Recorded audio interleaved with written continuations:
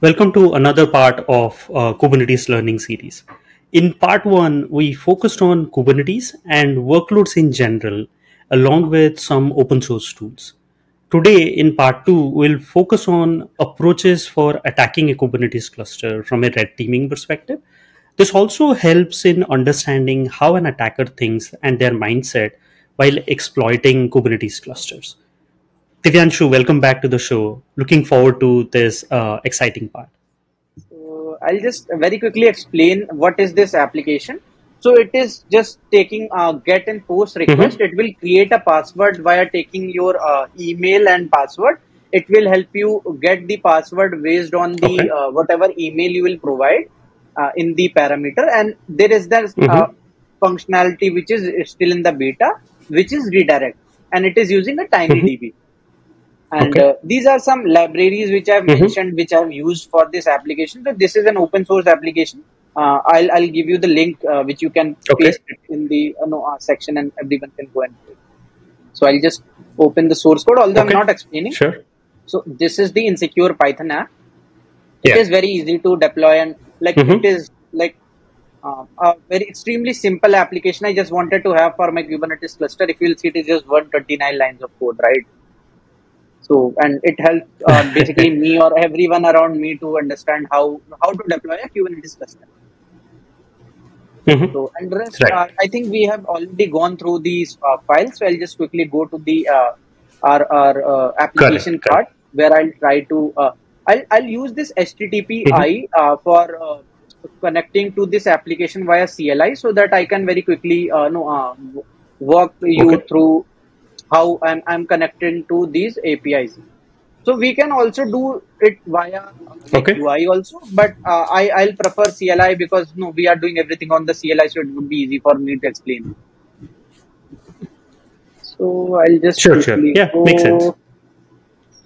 I'll quickly. I have I've, I've, deployed this, so it is an API testing client uh, which uh, we'll use, and I'll just copy paste these commands and mm-hmm. I'll create a file so that I can to everyone. So mm-hmm. instead of uh, using the domain right now, I'm using the IP. So I'll, I'll just replace this with the IP.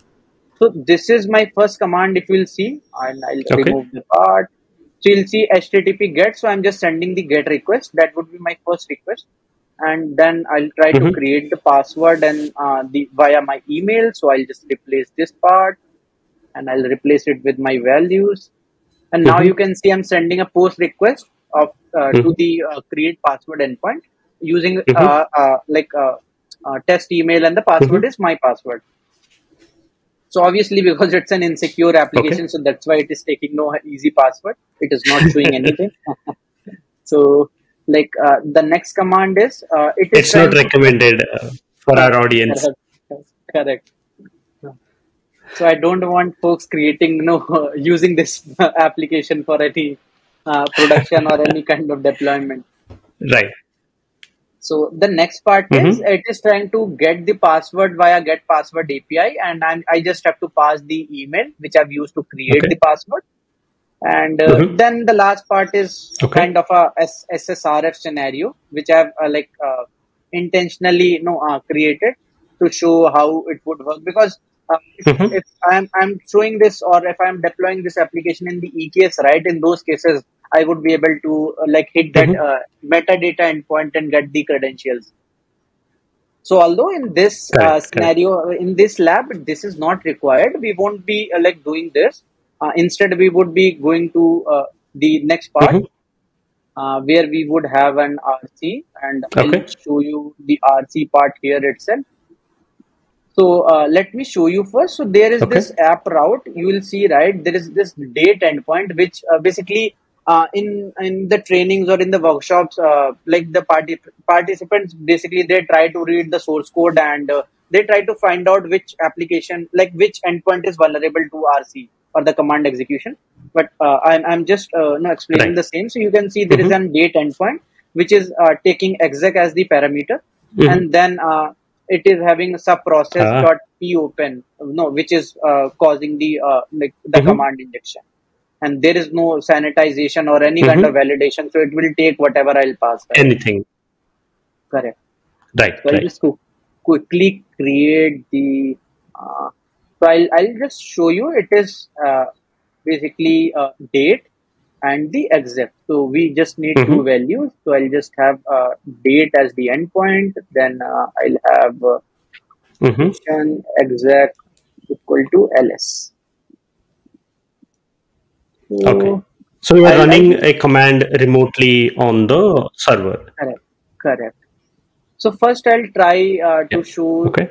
the application itself uh, from the CLI. So I'll Mhm. try to access it. So you'll see it is uh, showing me the whole content that in secure password manager and like because Mhm. it's in the CLI. Now I'll try to create the password Mhm.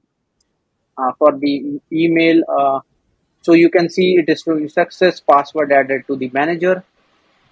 And then the next Mhm. is I'll try to get password for the user at the rate gmail.com. And Mhm. it is saying the email is this, the password is this.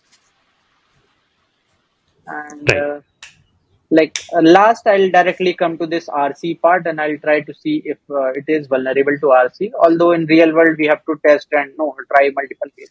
You can see, right? I'm able to do an ls and I you can see there is a Docker file, Jenkins file. There are so many things, right? Now I can start uh, reading the requirements.txt, Right. maybe the db.json, Jenkins Mhm. file. So we, we have multiple kind of data here, right? So we can try to exploit and see, Yeah. uh, like I, I'll show you a couple of more ways. So how we'll get to know if we are inside the, uh, like Kubernetes. So we'll do a print env here.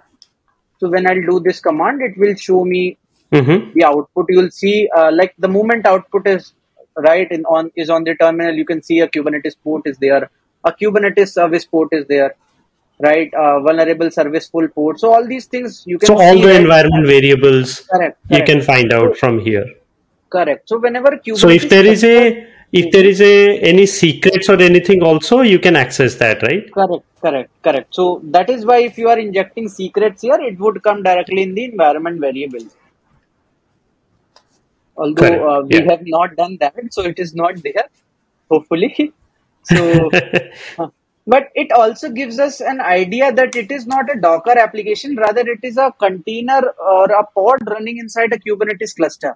If you'll see from the output, right? So it would Mhm. give multiple things from here. Like it Correct. would give me the uh, like the endpoint itself and uh, like uh, what language is used. So there you will get so Mhm. many things just by looking into the environment variable. So this is the easiest way of fingerprinting or finding whether Mhm. once I have an RC, whether my application is running on the host itself or on the cluster or the Kubernetes itself. So based on that, we can basically decide which attack path Mhm. I want to go, right? So Right, right. is uh, like the basic setup or uh, and the RC. Now I'll try to uh, exploit this application. So I'll I'll just Mhm. redeploy uh, Python pip just because I don't want to like have a error again. So that is why I'll, I'll redeploy if it is not there. And I I think pip was not there Sure. because I will be uh, de- using one more tool, uh, which is which is called as PwnCat Okay. it is very much similar to netcat for Uh-huh. the reverse shell but a little bit advanced and easy to use like Mhm. netcat is due to binaries and versions no sometimes it is difficult and even uh, folks will have different version of netcat right so there there can be some kind of confusion between the students or the people who are basically following this that uh, my netcat is not working Right, i right. do have a netcat. So that's why i'm using a different tool uh, which is again an uh, open source Okay. and you can just see on the github and uh, you can read the docs you can see how it works and everything. So it is deployed. Now I'll, as an attacker i'll just open my reverse shell. Uh, basically i'll, I'll uh, start my listener before i open the reverse shell so i'll just uh, do this. Uh, so I'm, I'm listening on 0.0.0 and the port is 8182 and it is saying that uh, bound to this uh, no uh, specific ip and the port. Okay. let me close this. Hmm and then um, like this side is from the victim. So let's suppose uh, we have Mhm. found an rc like actually we have found an rc so i'll just try to uh, have the Mhm. python payload so i'll just paste that python payload and uh, just uh, wrap the line Sure. so you'll see here right i'm just saying uh, whichever port, uh, like I want to have the reverse shell, then this is the command for uh, getting the reverse shell. I'm just sending the bin bash uh, to that Ah. current IP. So you will see, right? I'm using curl if config. In real world, here I have to put the attacker's IP, or like attacker would put his IP. Right now we are on the same machine, so that is why I'm putting the curl if config. So this command will basically uh, Correct, print correct. everything for me on the terminal, uh, which I can easily go and copy paste. So that is why uh, I have just uh, created this. You will see Mhm. it is now encoding everything. So no, uh, then it would be very easy for me to just paste the command here and just uh, send it right. So without any hassle, and I Right. already have my uh, reverse shell run uh, listener running. Sorry, uh, Mhm. and when I uh, say, I think I have I think I copied the whole line. So just let me uh, get this one. Yeah. Sure, sure. So now uh, you will see when I'll go to this, you can see right. Uh, we have received a communication from 18 to 079914114, which is obviously the same Mhm. IP from where I'm running. But in real scenario, this would be the victim's Correct, IP from where the reverse shell or the shell would come. So now I'll hit Control D and I'll get the regular regular shell. So you can see now I'm inside the vulnerable app deployment full. So this is Mhm. not our regular terminal. It is the container or the pod uh, where I've got the access. So now I'll just So this is very much I- like uh, doing a shell into one of the containers, but from a remote uh, location Correct, altogether, right? Without having any access to the kubectl permissions or anything like that. correct. So now we'll see from here. Okay. See the first thing you can see right. Uh, this container is uh, running as root. So because of which uh, we Mhm. would have more privileges. Now I can install anything. I can do apt update. Uh, so without those these privileges of root, I I wouldn't be able to do that, right? So now uh, you can see I was Correct, able to correct. run an apt update. So now I can install anything. So here, Mhm. uh, as you have seen till now that we uh, we were using uh, a kubectl. So definitely, I would I would like to know install the kubectl, Mhm. and before that, uh, as it is mentioned here, also I'll just uh, hit an env. Uh, print env and env both are almost the same commands, and it will give Mhm. me the environment variables. And then the next Right. is uh, I can try to install the Mhm. nmap. Uh, so because of the time constraint, I'm not doing that. And uh, curl I would install uh, because I Mhm. want to install the kubectl binary. As we know that no, we are using kubectl Mhm. to connect to the Kubernetes cluster, and uh, uh, this uh, there was a service account mounted. So uh, I'll I'll just use this Mhm. kubectl uh, curl to download the kubectl binary and install it in the uh, path Okay. so that I can access uh, like connect to the Kubernetes cluster via kubectl. I'm, I'm just closing this and I'm I'm just using the install command to install it. This would Sure, do sure. everything for me. Now if I'll see if I'll run this kubectl auth can I list, so this command would give me uh, like what Mhm. I can do. Right, so you can see because I had everything star star, so now Right, it's giving right. me that I have all the permissions. I can do get. These are the APIs. I can like get whatever I want. I have full uh, control over the cluster because I was uh, able to install the kubectl. Then on the top of that, I was having an Mhm. RBAC with full permission. So because I had full permissions, now I can go and Right. create the cluster. I can delete it. I can do whatever I want, right? So now I'll show. So it's very uh, much like an admin in any Correct. cloud environment, right? Correct. Right. Right. So here Yeah. you'll see I've I've done an nmap, so which I'm not doing, but I'll show you one last command, uh, which Mhm. would uh, help us to get an Mhm. idea. So if you'll see cluster info, I'm now able Okay. to dump the cluster info. I'm able to get the nodes and pods and services, everything, right? So this see, Mhm. so now Right. I have complete access. I can do whatever I want. So this is a complete uh, Kubernetes or like the cluster Right. compromise scenario. So now because I have full permission, I can go and uh, Right. maybe create a, another pod or delete everything, right? So Mhm. this is the part where we have completed Yeah, a so it- reverse shell. Way. Mhm. Yes, yes, yes. Uh, you were Mhm. saying something, Pushottam. No, no, no. I was saying that uh, no, two, we looked at two things, right? One is the remote code execution vulnerability, and from that we could all the way get to reverse shell, and now you have complete uh, control of the cluster. Correct, correct. So plus, if you will see like the YAML, there was no like uh, no uh, restriction on the deployment of the container itself. So I was able to like this pod was deployed as a root, right? It was running as a root. So when the attacker got the access, Mhm. uh, I was able Correct. to run commands as root. So this is actually the real world scenario which I have tested and uh, Mhm. did in the re- uh, like in one of my pen testing engagements where I did a nuclei scan on the uh, right uh, Mhm. the uh, domains, and from there I was able to get inside a container. Mhm. And because the container itself was running as root, so I got uh, wow. I just did an exec in, into an Mhm. another container, and it was in cloud environment. So there, that uh, that uh, container was having uh, no uh, full permissions, like the admin policy was attached. So it led to an AWS uh, no compromise in that case. So just because I had Okay. like uh, Right, no right. RC in the application, then there was an uh, full RBAC there. The application was uh, the container was running as root. I was able to take over the entire AWS. Mhm. So this is this is how bad Yeah, these you know, uh, misconfigurations are. So I think uh, this is pretty much Mhm. it. Uh, we this is like from the part of uh, uh, RBAC and no exploiting a parent application. We have done that, and now in the next part uh, we would see uh, Mhm. the container breakout scenarios. So I'm not going to use the same container.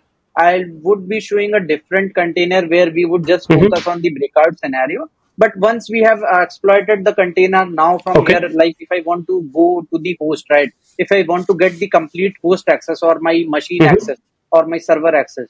So in those cases, I need to Mhm. check and find a way to break out of this uh, container and get into the uh, host on which uh, this uh, container is running or the pod is running. This cluster is running. Yeah. Correct. Correct. So uh, this is the uh, next scenario. So these are some common breakout scenarios. If you uh, if I'll read it out, PID like the process ID mounting, the network Mhm. mounting, IPC true. So IPC is just the inter-process communication namespace. So this namespace is shared Mhm. between the multiple pods. So suppose my X pod is having uh, no IPC true, Mhm. and there is a malicious pod uh, running with uh, no uh, the IPC two. They both would have the shared uh, inter-process communication. And if any secret is stored by X pod Right. into that place, malicious pod also can go and read it. Mhm. So that is why this is bad. Plus the Mhm. volume mount, uh, which we would see where we I am going to mount the uh, Mhm. host volume, and then couple of uh, like the privilege true where I am giving excessive privileges uh, to my containers. Then Docker in Docker, like this is how basically our kind is running right now. But in the scenarios where we don't have kind, Right. right, or in the real applications where we don't use kind, in those cases, if I have access to this Docker Mhm. mount socket or the where I can directly run the Docker command inside the pod, in those cases, I can create another Docker or I can no directly delete all the containers and do much more because I would have access to the Docker uh, uh, socket and from there I can communicate to the Docker uh, like uh, sock, which is basically having uh, more permission. Directly. Correct, correct. Right. Then, so here, uh, here you have listed uh, 10 to 11 uh, container breakout scenarios. Uh, is this the finite list, or there are more such scenarios which can be used by attackers?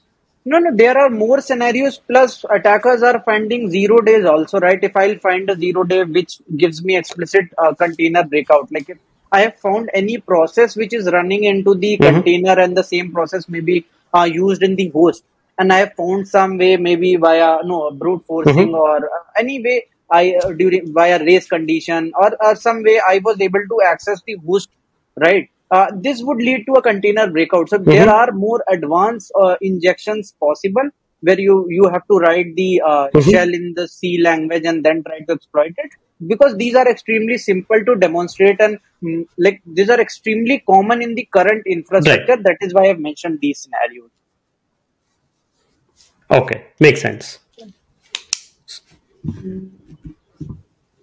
Okay, so uh, So, out of these, which one you want to maybe show today from a I'll breakout show, uh, I'll, I'll show this host volume mount path one and this unauthenticated Kubernetes dashboard. Okay.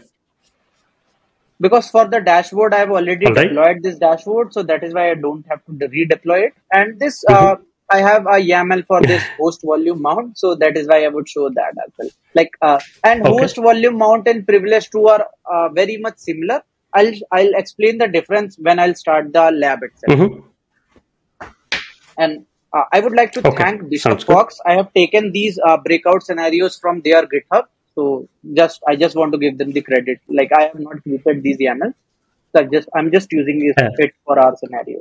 Okay. Well, when we when we publish the video, we'll make sure to tag them as well so that they get the due credit. Cool. So this is the host volume uh, mount. So uh, host volume mount container breakout refers to the vulnerability where I am mounting the host file system into the uh, pod or into the container. An attacker is able to gain the unauthorized Mhm. access of the host file system. So Uh, so you sort of have access to the entire file system on the host, not just the not just what the container has by default access. correct, correct. This is true. So I'm just going into the uh, Okay. directory where I have my uh, this host pod uh, dot YAML, and uh, Mhm. I'll quickly explain this as Okay. well. Okay. So just let me reconfirm. It's 4.5 and then host volume. So this is uh, the deployment Mhm. is pod. I just won't, don't want to bring this up again. And the image type is Alpine. And uh, Okay. you can see I'm mounting uh, on the Mhm. slash host. And on the host, I'm mounting my uh, root. hmm So I'm mounting the root directory of the host uh, to the slash host. So because I'm mounting the root, so whatever would Ah, inside okay. uh, would stay inside the uh, root. That is right. Everything like what everything is inside this slash itself. So from the Correct. container or from the pod, I would be able to access Correct. everything. So we'll just uh, quickly see this Right. scenario. I'll just uh, I've explained the uh, YAML, so I just apply this. We can either create or do an apply Mhm. here. So both works. Uh, apply is usually uh, once we have Okay. configured or created something when we want to reapply, we use apply. But I am using it here itself. So you can see the host path pod, pod is created, and uh, Okay. for the post exploitation, I'll I'll do a CD into that uh, mounted slash host path and do an ls uh, from the container or Mhm. from the pod which we are running right now. So I'll do it very quickly. Uh, you can see uh, it, Okay. it is showing me all these uh, files or these are the uh, file system of the host itself. Now I'll create a file uh, Mhm. and and inside the uh, my uh, host file system. So uh, right now it won't be my EC2 instance. It would be my uh, uh, Docker container which is on which uh, this uh, node is running because we are running kind right. So kind uh, node is running on the top of Correct, another correct. container. So it would basically access the container, not the EC2 host, uh, like just so that people are not confused.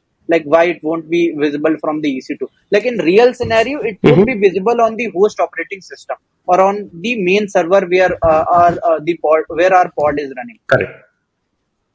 So I just created this file, Mhm. and now uh, I'll I'll access uh, this file again hmm uh, from our uh, host.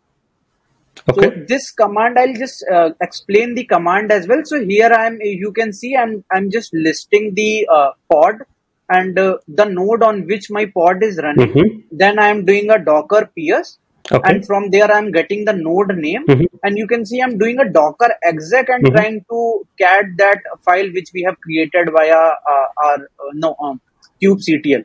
Like basically, uh, the pod was running and we were Right. able to uh, create a file here.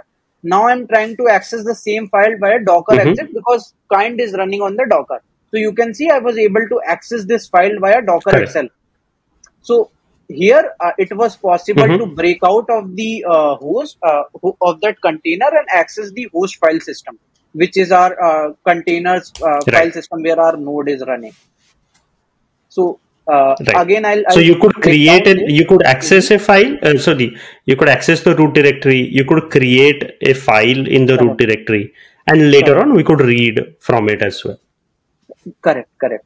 So this is the same thing which is Okay. mentioned. I'm just reading it out. Get the node name from the host pod for, uh, and uh, Mhm. get container ID, and then execute the cat cat host file command Mhm. inside the container. This is the same thing, uh, but we have discussed uh, right now. So this was Right. the easiest container breakout if you would see, just because uh, no, uh, uh, like a team or someone who uh, did the host path and mounted everything, right? Uh, slash. So that is why it Mm-hmm. was possible for me Mm-hmm. as an attacker to get access to the file system because I have access to the entire file system. I can make any changes. Right. So I'll just go and quickly delete this lab and uh, we'll move to the next section where Mm-hmm. I have the privilege true. So privilege true gives uh, like Okay. on the pod level, uh, it bypasses the security boundaries and gives extra permissions like the kernel level settings uh, to the uh, pod which is running.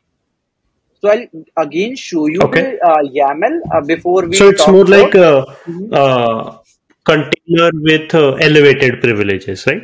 Correct, correct.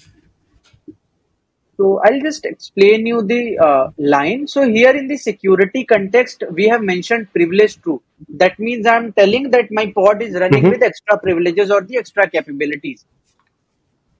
And rest, Right. everything is same. Like it is just a pod uh, image Ubuntu, Mhm. and this is just uh, no. I'm I'm running it in the loop so that my pod is not dying. So Alive, yeah. so I'll I'll just apply uh, this uh, uh,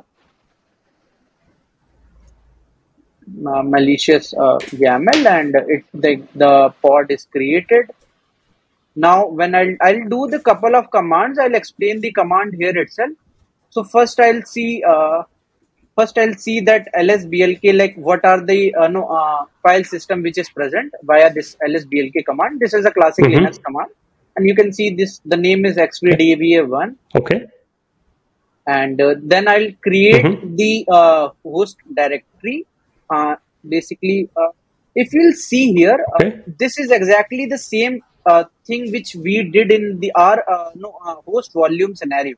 Like there, I was writing in the YAML itself that Mhm. I am mounting, uh, like I have a slash host and I'm mounting into the uh, slash root because I have elevated privileges right Mhm. now with privilege true. I'll create a directly uh, direct Right. a directory here and now I'll do the same thing. Mhm. I'll again, if you will see the next command, I'm again mounting it, uh, my uh, like xvdva1 Mhm. onto that uh, slash host, and you will see there Okay. was no error. So this was possible because I had elevated privileges, Right. and I'll run a Right. ch root. So ch root will give uh, uh, basically uh, this uh, slash host uh, its shell. Uh, it is just to uh, no change the root, and now you will Mhm. see I'm I'm having this uh, directly. Mhm. I'm inside uh, uh, some some no root now. Uh, we don't know still what it is, but uh, in uh, reality, this is our node where our container is running. We were successfully able to break out here. Right. And now if I'll do an uh, ls Okay. and uh, I, I'll show you. So you will see uh, it is even because uh, right now my you know, uh, EC2 instance is uh, shared with the node and my node is sharing the same with the container or the pod. So that is why in this scenario, I was Mhm. able to see the uh, no uh, like my EC2 data. Like this is the course which uh, right now we are accessing. Mhm. So that is that was Right, right. possible because uh, no, I had access uh, via the privileged true, and now I can go and Privileged container, yeah. Correct. So this is how the privileged uh, no uh, breakout scenario Okay. works. So these are very easy to learn and understand scenario, and uh, like uh, the Bishop Fox has given couple Mhm. of more here. So if anyone is interested, they can go and read all these scenarios. Okay. They have a huge list. Like there are total uh, seven or eight scenarios uh, Ah, lovely. which yeah basically uh, which helps uh, anyone to understand how the basic breakout scenarios would work then there are some cves which came uh, no in the last years like runc uh, so all these things like if anyone is interested they can read and try to check all these things in the real world like whether these vulnerabilities are present and they can try to Mhm. basically uh, use these uh, no uh, issues uh, during the pen test so now coming to the last attack, uh, which we will see in Um, this demo. So I would just uh, directly go into the uh, endpoint. So you will see this is the Kubernetes dashboard. So whenever the uh, like applications are deployed in the Kubernetes, uh, DevOps or the SRE guys, they also deploy a Kubernetes dashboard. So when uh, the there is a misconfiguration where uh, Okay. like uh, we allow no uh, skip or we allow anonymous login into the Kubernetes dashboard, we have this skip button. If I'll zoom out, uh, you'll Mhm. see there is this skip button. So if the vulnerability is not there, you will see a Kubernetes dashboard Right. exposed, but there won't be this skip button because this skip button is present. I can simply Okay. go and click on this skip, and for me, this will skip and this will show me everything. So now I can see uh, all the containers running. You can see Falco is running, right? Uh, I can see the type of workload, service, config maps, Mhm. cluster. So now you'll see from here also I have access to everything. So this is a Correct, very like, uh, Like even though there was that authentication page, you could Correct. bypass that, right? In a way, because you did not have to provide any authentication because you could skip. Okay. Correct. So in real YAML, which is provided by the Kubernetes, uh, this uh, on the GitHub, there is this uh, skip button or this misconfiguration is not there because I was demonstrating it in the lab. So that is why explicitly I have created this setup. So if Mhm. a Kubernetes dashboard is running maybe a very old Okay. version or someone has explicitly you know uh, created this misconfiguration, then only this would exist. Or if they have some specific use case, I don't know what, but Okay. if they have some some bad use case, no, uh, in those cases only this would uh, skip button would appear. so this uh, Okay. brings us which makes sense. And I was about to ask you that, like, why would somebody have the skip button if you want to enforce authentication? But okay, it now it is clear. maybe like uh, no you can or uh, we can uh, try to access shodan and see uh, based on the uh, fingerprinting if we have something in the uh, real environment i don't want to show, show this in the Mhm. our, our uh, no uh, workshop because uh, i don't want to Right, someone to get exploited so anyway uh, this is uh, Correct. correct. we have completed the attack part and it brings us to the end of uh, Mhm. how we attack the Kubernetes uh, infrastructure. So these are some basic attacks and uh, no, uh, post exploitation techniques which we have talked about. So over to you, Purushottam, if you have any question, anything, because uh, like this was too much for the no uh, for for the first time to see and then uh, like uh, going through all these at once. Yeah. So I have many questions, some around the attack itself and mostly around the defense side. So uh, you showed a few things, right? Remote code execution, the RBAC policies where you have star uh, permissions. Uh, Mhm. Is there any scenario where these are legitimate?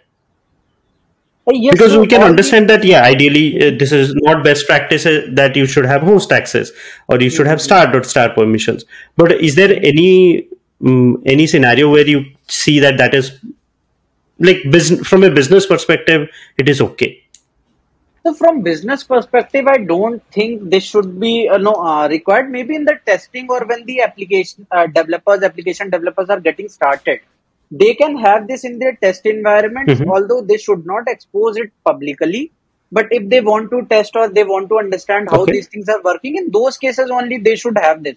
Like real world scenario won't have something where it is Mhm. uh, misconfigured, right? Uh, like all the applications need, need a specific Mhm. access maybe to a specific pod or the namespace. So it would be very specific. Like I don't think any pod would go and create any Right. pod, right? So those things are not required. hmm So correct okay uh, The other question that I have is you mentioned about three types of ways to uh, sort of enable uh, or create a service, right? Uh, node port, cluster IP, load balancer. Mhm. Uh, when you are, let's say, if I'm deploy, if I'm creating a cluster and uh, deploying it in AWS, in which scenarios you would suggest me use uh, cluster IP, and in which scenarios you would suggest me use load balancer? whenever we have an application and I directly want to act, like want it to be accessed outside the uh, no uh, from the external environment or like from the internet. In those cases, we can have the uh, load balancer. So if I'll put load balancer right now in this YAML, where we had this sample app, Mm-hmm. uh, if you'll see this, uh, the type is node port. If I'll mention the uh, like load balancer, this won't come up because in bare metal we don't have or like on Mhm. the uh, EC2 we don't have any like uh, a load balancer, right? It is explicit to the cloud environment. Correct. So there it would create a cloud uh, load balancer for you. Uh, uh, LB like AWS LB, and it would directly map your container with that. So your application would be accessible directly. Okay. Like you don't have to do explicit mapping. Like in the case of node port, okay. it will give you a public IP. Like if it is, uh, mm-hmm. uh, if you are not in the uh, private subnet and you have that public IP pool, so in that case you will get this right. public IP and your uh, application mm-hmm. would be accessible outside the cluster. Like if it is uh, within the private subnet, obviously you won't be able to access it. But if it is accessible, like your networking mm-hmm. configuration allows that public uh, no uh, access, and that this is the node port. In that mm. case, uh, my pod would be accessible outside the like this cluster itself. And when we talk about the cluster IP, it is okay. within the cluster like I have uh, pod one and pod two running within the cluster, and I ah. want some kind of communication happening, like a microservice which wants to talk internally, right? Okay. In that case, I will have cluster IP where mm-hmm. the communication is happening within the cluster. So that is, is the, that is the okay. main difference between and, these.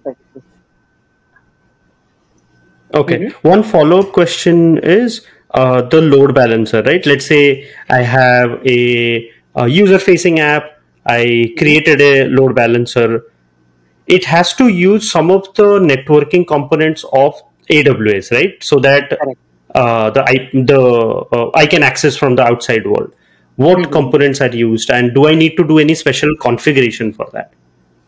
A special configuration like it would be very much similar to any application running your NACL, your private subnet, your VPC, and no security group. All these things needs to be in place right? Like it is how a generic application work. Like if mm-hmm. i will block all the network access like i would give again an analogy that if i have my main door locked right and everything inside uh, my house mm-hmm. is open then also anyone can't come uh, inside my house because the main door itself is locked so that is very much similar because i haven't okay. provided the networking access to like basically the communication, the in, ingress and egress, uh, the incoming or the outgoing traffic, the traffic flow won't happen. Although mm-hmm. my application is allowing, but my network is not.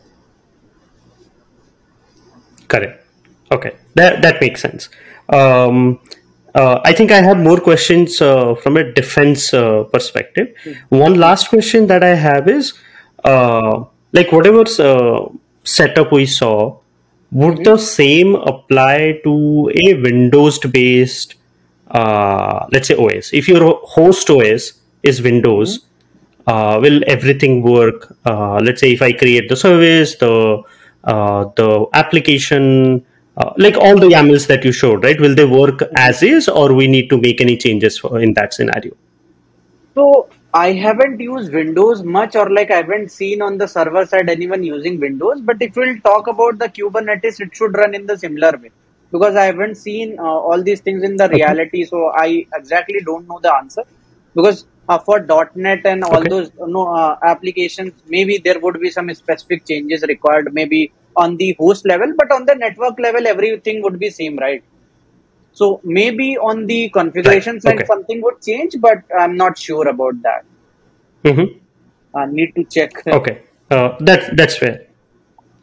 no, no, that that's fair. That's understandable. And I have seen something very similar that most of the uh, Kubernetes practitioners use uh, like Linux based or Ubuntu based uh, uh, host choices. So that should cover majority of the uh, landscape. okay, so I think I um, all of my questions around the attack side uh, I have got answered. Uh, um, so once we go into the defense side, I'll have more uh, question. Got it. Sure. Uh, Thank you everyone for joining us in the part two of this workshop. Uh, this is part two of a multi-part series focusing on Kubernetes learning, attack, and defense. We hope you found part two informative and, and, and engaging. Stay tuned for part three, where we'll dive deeper into practical strategies of defending a Kubernetes cluster. Uh, that gives us an understanding of how, how and what are some of the best practices to follow when defending Kubernetes clusters from attackers. See you soon. Thank you.